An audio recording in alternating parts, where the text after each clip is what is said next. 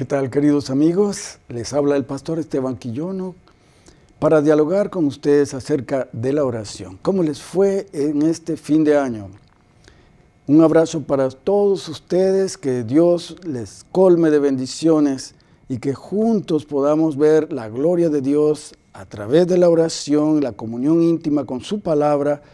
De esa manera podemos caminar este año de la mejor manera. Precisamente, de eso hablaremos con nuestro invitado esta noche.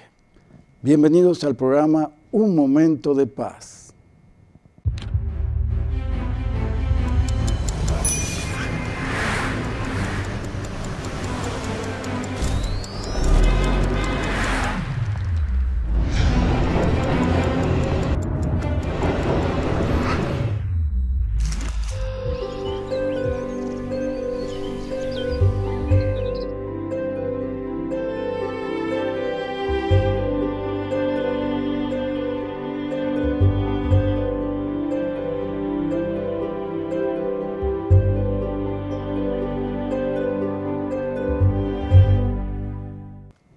Todos hacemos nuevos propósitos, votos y proyectos para este año nuevo. Lo estamos haciendo y lo seguiremos haciendo. Y no está mal. Sin embargo, algunos cometemos el grave error de no incluir a Dios en el proyecto. Por eso en esta noche estaremos dialogando con alguien que tuvo experiencia de un proyecto de oración, imposible para el hombre, pero posible para Dios. Esta noche tenemos como invitado especial a nuestro querido amigo paisano eh, Neftalí Cruz Escobar. Buenas Gracias por estar con nosotros, Neftalí. Gracias, pastor, por la invitación. Feliz año. Feliz año. Dios le bendiga en este año, que todo siga con la bendición del Señor en este año, para usted y su familia. Gracias. Sin duda alguna que este año será mejor que el anterior. Amén, eso esperamos. No tanto por lo que pudiéramos hacer, sino lo que Dios puede hacer por nosotros y a través de nosotros y con nosotros, ¿no es cierto? Así es, así es, eso es lo que esperamos. Neftalí, cuéntanos algo acerca de ti para que los, el, el auditorio y los televidentes nos puedan, te puedan identificar. Bueno, mi nombre, como usted ya lo mencionó, ¿verdad? Neftalí Cruz Escobar, soy el tercero de cuatro hijos. Eh, pues nací en el estado de Chiapas, en Tuxtla Gutiérrez, Chiapas, allá en, el invierno de 1975. Y entonces, este, pues ahora soy padre de tres hermosos hijos. Estoy casado hace ya algunos años, 22 eh, años, y estoy trabajando para la iglesia hace aproximadamente, voy a cumplir 25 años ya trabajando con la iglesia. ¿Cómo pasa el tiempo rápido? ¿verdad? Sí, pasa muy rápido. Parece fácil, pero eh, se va demasiado rápido. Y los años se van, se van, se van.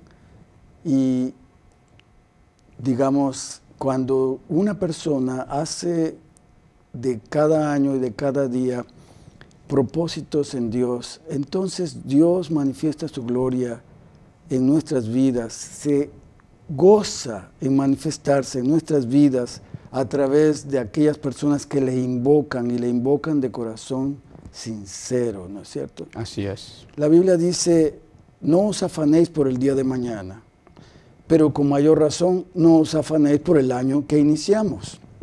Basta cada día su propio, afán. Pero hay que hacer planes. Es correcto. ¿No es cierto? Hay que hacer planes, pero esos planes tenemos que incluirlos en las manos de Dios, ponerlos en las manos de Dios.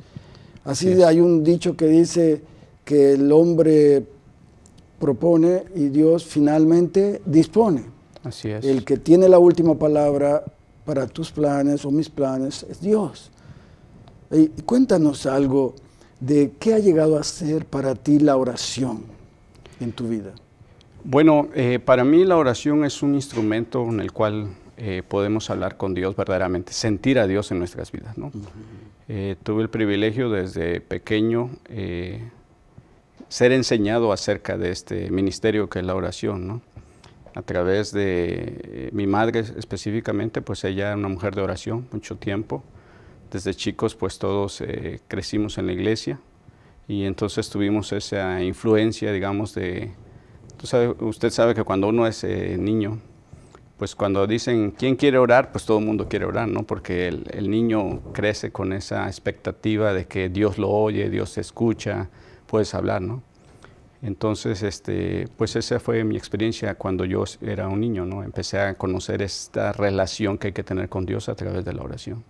Y dime una cosa, ustedes vinieron aquí a la Universidad de Montemorelos como un proyecto desafiante de familia donde la oración cobró importancia. Se mantuvieron ustedes todo este tiempo en oración. Cuéntanos algo de estos inicios de proyecto de tu familia al venir aquí.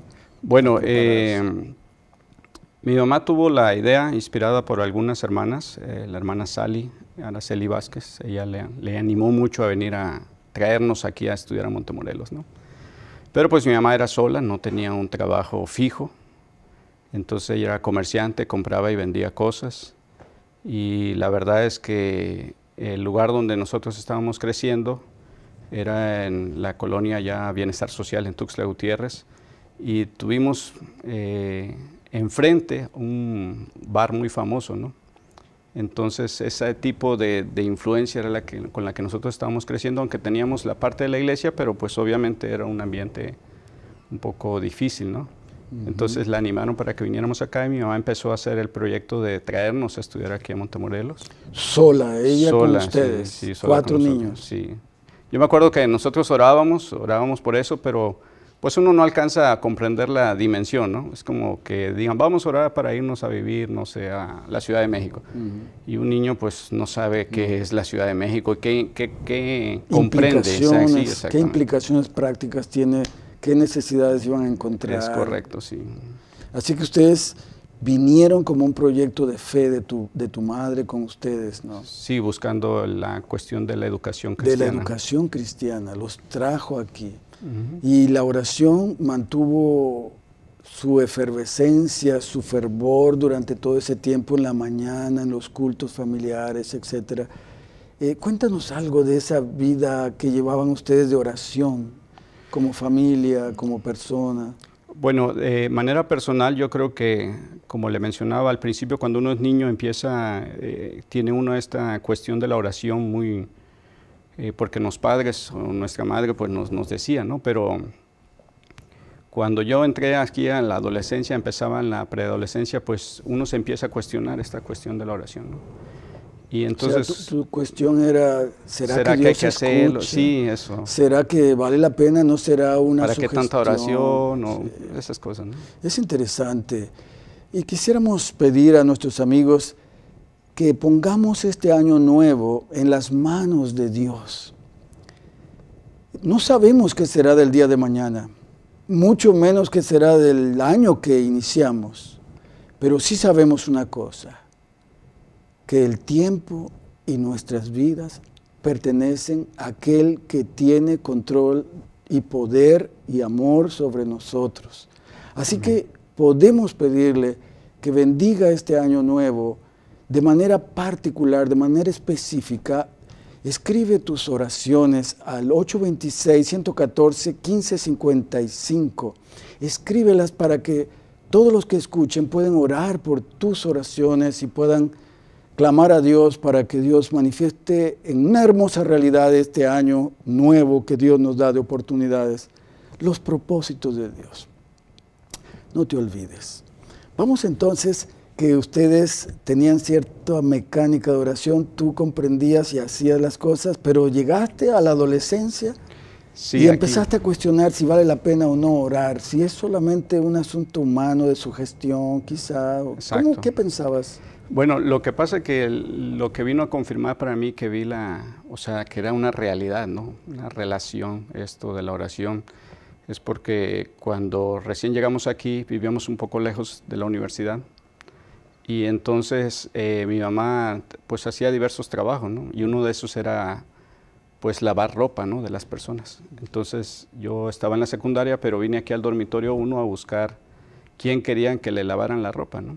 O sea, tú, tú hacías los clientes, digamos, sí, exacto, la ropa, y la Tú la llevabas. Era como una industria familiar. Sí, exactamente. Pues había que buscar, ¿no? La manera de, salir adelante. de salir adelante y es un, un trabajo en equipo, ¿no?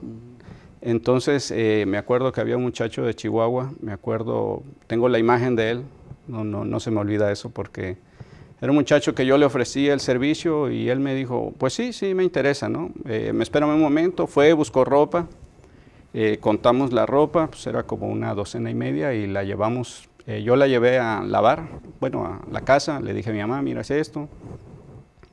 Mi mamá la lavó y la puso y la tendió para que se secara. Y pues nosotros estábamos ahí al pendiente de la ropa, ¿no? Pero pasó que después de que estábamos ahí con ese servicio, pues cuando salimos a ver la ropa ya no estaba, se la habían robado. Se la habían robado. Sí, toda, toda, se llevaron toda, toda la ropa, hasta la ropa interior, todo lo que me había dado, todo se llevaron. Y entonces cuando yo salí y vi eso, yo dije, ¿qué vamos a hacer? No? O sea, se robaron la ropa. Y entonces mi mamá, este, pues preocupada, nos reunió y dijo, vamos a orar, vamos a, pues, a pedir a Dios que nos ayude, ¿no? Y entonces, pues me dijo que fuera y hablara con el muchacho para decirle que pues, nos habían robado la ropa. Y yo regresé al dormitorio, lo busqué y le dije, mira, pues eh, lamento mucho decirte esto, pero pues quisiera que me digas cuánto, cuánto cuesta tu ropa, ¿no? Porque pues yo le dije, nos robaron la ropa, le conté lo que había pasado, o sea, la verdad, lo que había pasado. Y yo me acuerdo que el muchacho me vio y me dijo, no te preocupes, no te preocupes, no, no me la pagues, o sea, es algo que pudo haberle pasado a cualquiera. Y yo dije, wow, o sea, qué, qué, bien, ¿no? O sea, bueno, pues gracias, ¿no? Pues sí. Y entonces este, yo me fui a la casa y le dije a mi mamá, mi mamá muy contenta, mis hermanos pues también, ¿no? Y, pero una semana después yo, yo dije, fíjate cómo uno a veces dice, oye, cómo Dios contesta rápido, ¿no? Y uno, ah, bueno, no, será que... Pero vino, vino una segunda prueba. Resulta que a la, a la semana este joven eh, me vio y me habló y me dijo, oye, ¿sabes qué? Este, quiero que sí me pagues la ropa. Eh, porque es tanto, o sea, la ropa que pues era ropa buena, era ropa fina, y quiero que me la pagues, ¿no? Y entonces, pues yo dije, Señor, pero a ver, ya habíamos orado, ya nos habías contestado, y, ahora, otra vez, o sea, pues, ¿qué pasa, no? Entonces yo regresé a la casa y le dije a mi mamá y a mis hermanos, ¿saben qué? Pues si quiere que se la paguemos, ¿no? Pues ya me dijo el precio y es tanto. Pues era una, una cantidad considerable, pero entonces yo, pues mi mamá dije, vamos a orar y orar y orar sobre ese proyecto. Y yo decía, oye Señor, pues ayúdanos, mira. O sea, yo sentía ese compromiso porque yo era el que había contactado a la persona, ¿no? Entonces, Tú eres el, representante. El, sí, el representante. Delante de él eras el responsable. Si él me veía y era un muchacho grande, pues yo decía, no, eh, no me le puedo escapar, o sea, pues algo me va a hacer. Y entonces, para mí eso era una angustia, ¿no? Mm. Y entonces, este, pues, como pasaron unos días, quedamos en una fecha para pagarle lo de la ropa. Y cuando ya se estaba acercando esas fechas, eh, yo fui a hablar con él y entonces me dijo, ah, qué bueno que vienes, este, te andaba buscando, pero no te había encontrado. ¿Y tú sentiste que...? Sí, yo dije, pues a ver qué, qué, me va a decir ahora, ¿no? y entonces me dijo, ¿sabes qué? Este, ya estuve averiguando acerca de ustedes, o sea, yo... Y quiero decirte que, que no me la pagues. Eh, yo tenía alguien, la primera vez que yo te dije, me había dicho alguien, oye, qué tonto eres. Este, aquí hay gente que se dedica a eso, o sea, te roban la ropa, la venden y se quedan con el dinero y, y pues tú le dijiste que nada. Y por eso te dije que me la pagaras. Y ahora que pues supe de alguien que los conocía y me contó la historia de cómo ustedes vinieron, pues no, yo no puedo cobrarles la ropa. Y entonces, pues yo le agradecí eso, ¿no? La verdad que, que, siempre agradezco ese gesto de esas personas, como Dios pone personas en el camino que, que se, te muestran el amor de Dios verdaderamente, ¿no? En sus vidas. Eh, y cómo ellos, pues, tienen misericordia también de uno. ¿no? Así es. Fíjate que eh, como propósito de Año Nuevo, donde uno, pues, tiene, tiene muchos proyectos de vida y hay planes para uno, para la familia, Sería muy importante poner como algo prioritario que durante este año 2020 que Dios nos da de vida, para iniciarlo, puesto que nadie sabe lo que será el día de mañana, podamos colocar todos los días de este año 2020 nuestras vidas, nuestra familia, nuestros proyectos en las manos de Dios. Así es. De tal manera que podamos decir como esta eh, lectura que tengo acá del apóstol Santiago. En Santiago 4, 13 al 17 dice, vamos ahora, los que decís, hoy y mañana iremos a tal ciudad y estaremos allá un año y traficaremos y ganaremos, cuando no sabéis lo que será mañana, porque ¿qué es vuestra vida? Ciertamente es neblina, dice, que se aparece por un poco de tiempo y luego se desvanece. Es correcto. Dice, en lugar de lo cual deberíamos decir, si el Señor quiere, viviremos y haremos esto o aquello. Pero ahora os jactáis en vuestras soberbias. Toda soberbia semejante es mala, dice. Y al que sabe hacer lo bueno y no lo hace, le es pecado. O sea, aquí Santiago establece que el día de mañana no lo tenemos comprado. Podemos hacer planes, pero en esos planes hay que incluir a Dios. ¿Y cómo incluimos a Dios si no es a través de la constante oración, pedido, agradecimiento, alabanza a Dios durante este año 2020? Desde la mañana cuando te levantes hasta la noche cuando te acuestes.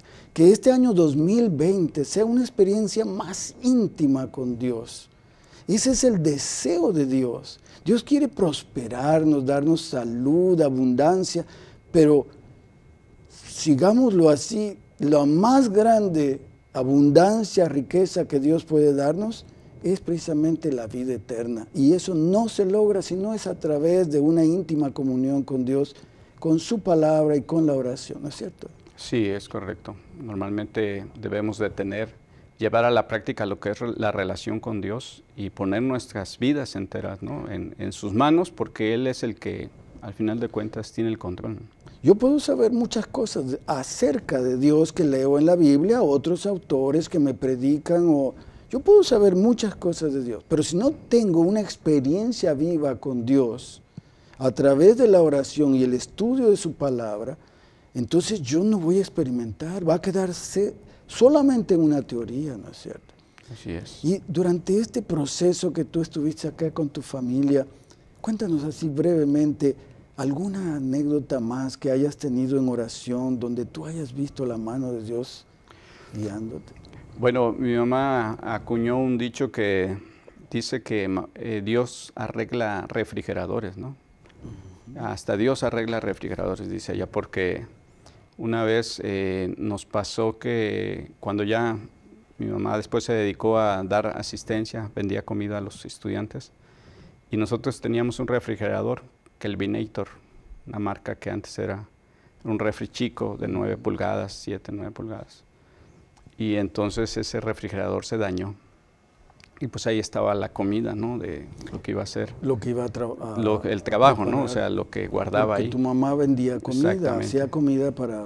Y el refrigerador es una herramienta de primera mano. Primera mano. Entonces, este, pues viendo cómo arreglar ese refrigerador, vino la gente y dijo, las personas que conocían o sabían de eso, y dijeron, ¿saben qué, hermana? Pues compre otro, porque ya ese refrigerador ya dio todo lo que tenía que dar. Ese refrigerador yo no sé si estaba antes de que yo nacer, pero yo toda mi, vida lo había conocido, ¿no? Y entonces eh, resulta que después no, no, no funcionó, o sea, le dijeron que tenía que comprar otro. Y pues no teníamos, no servía. No servía, entonces teníamos que ver qué, qué, qué hacer con eso, ¿no? No teníamos en ese momento para comprar, pues estábamos, el compromiso era pagar aquí la universidad, la colegiatura, todo eso. Y entonces pues dijo mi mamá, ¿saben que hay que orar? Hay que orar porque pues Dios nos tiene que ayudar o ver qué hacen, ¿no? O sea, manda a alguien o alguien le encuentra, o no sé. Y entonces estuvimos ahí orando. Me acuerdo que eso ya era tarde, pues nos acostamos con el refrigerador conectado, no funcionaba, pero estaba conectado, ¿no? Y me acuerdo que para amanecer del otro día, eh, de pronto empezó el refrigerador a trabajar. se escuchó cuando entra el compresor, ¿no? Y nosotros dijimos, ah, ¿qué le pasó al refrigerador? Y fuimos a ver y sí, ya estaba funcionando, estaba enfriando, funcionó. La verdad es que... Increíble. Sí, ese refrigerador prácticamente hasta que se los vendimos o cedimos a otra persona, siguió trabajando. Sí, sí. siguió trabajando. Siguió trabajando porque pues ya era un refrigerador chico, y se tuvo que comprar uno más grande. Eh, y pues como yo, eso quedó, impactó mi vida, ¿no? Como Dios tiene cuidado de pequeñas cosas, ¿no? Que uno puede decir. Y eso es lo que a veces yo trato de transmitirle a mis hijos, ¿no? Eh, la enseñanza que yo he aprendido de esto es que nosotros como padres tenemos una responsabilidad de enseñarle esto a nuestros hijos. Y cada hijo, cada persona va a tener su propia experiencia personal. Algún momento Dios va a tocar su vida.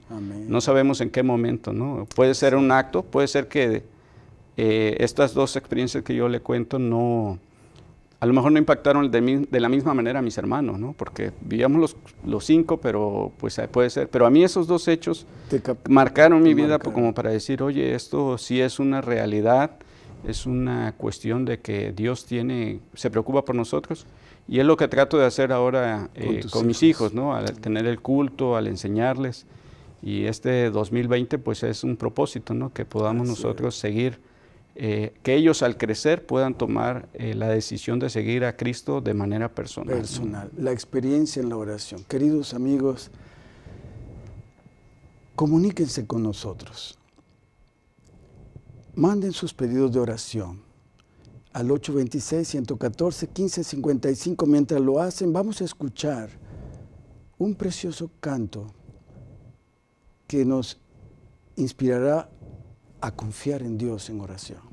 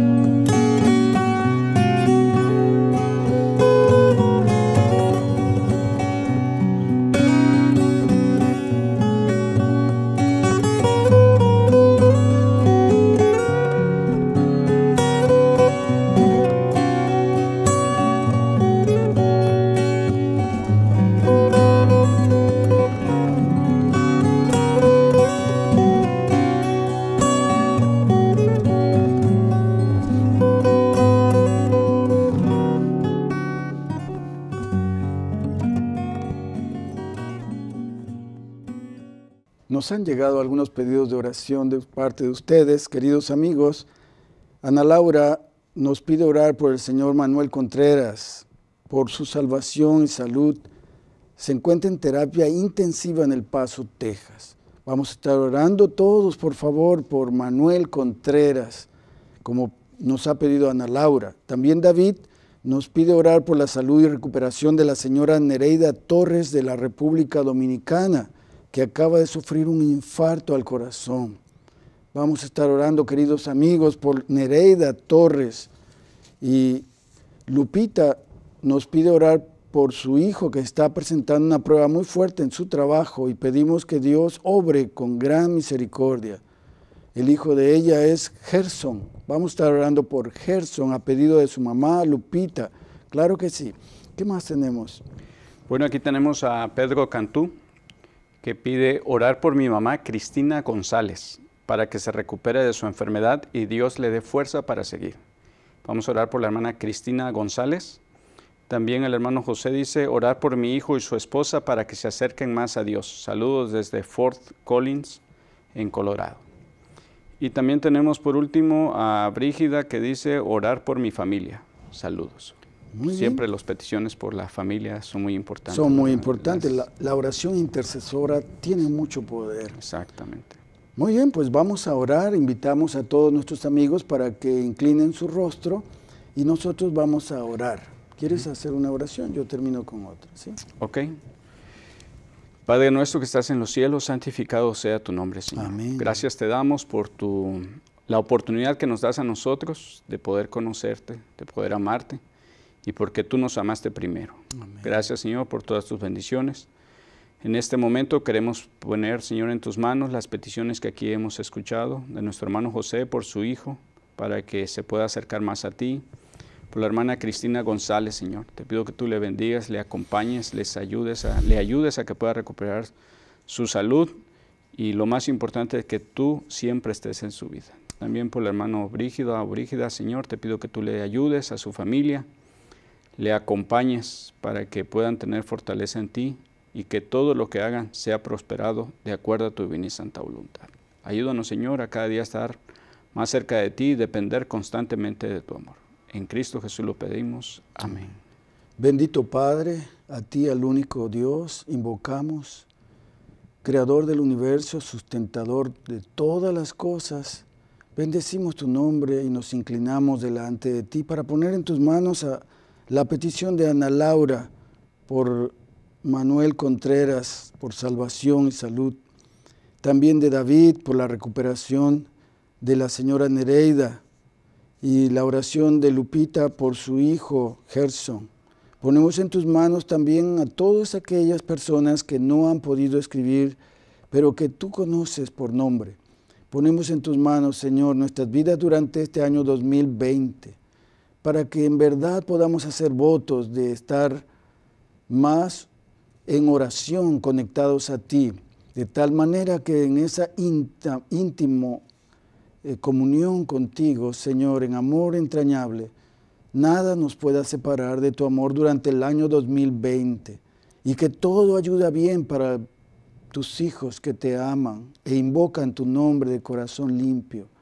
Pedimos, Señor, que en este año tus hijos puedan ver tu gloria brillar, que en medio de tantas noticias de crisis y de problemas financieros, de salud y en medio de tanta soledad, desesperación y falta de comunicación, en medio de tanta devastación moral de la humanidad, tú puedas, Señor, vindicar a tus hijos y dar a conocer tu nombre en este mundo. Y que a través de la oración podamos ver tu gloria, Señor. Ponemos en tus manos este programa, a todos los que participan en él, a todos los televidentes y amigos que nos ven y escuchan a todos los que trabajamos tras las cámaras, a todos en tus manos de amor para el año 2020. Señor, acuérdate como lo hiciste con Nemías, tu siervo.